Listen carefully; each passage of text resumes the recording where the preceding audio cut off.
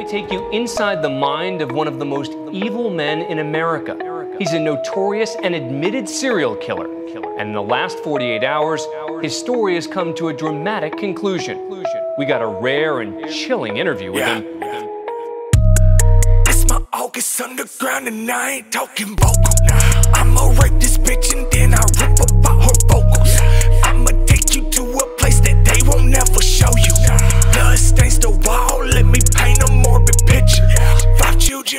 missing since the 19th of December. Three bodies just showed up and they all have been dismembered. The other two I stacked and then I burned it like some timber. Met her off a Tinder. Steak knife in her innards. This ain't for beginners. This is for the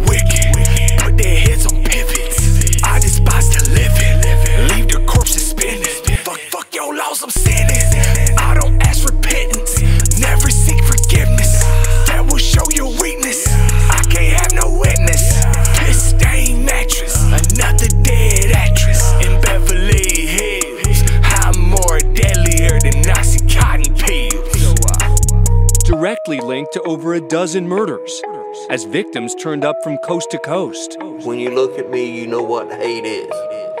Because I don't know what love is. Two words I don't like to use is love and sorry. Because I'm about hate. His methods for killing were as random as the people he targeted. He raped many before cutting their throats or beating them, stabbing others. He strangled some. A lot of jerking, a lot of movement.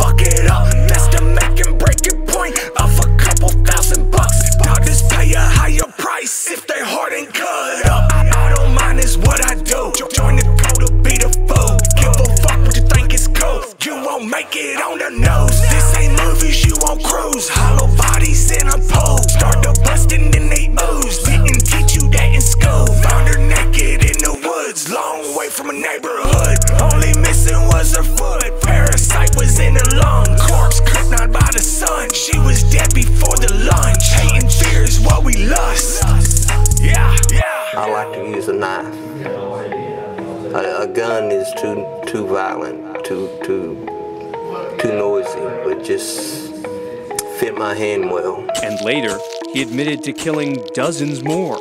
So many, he says he can't even keep track.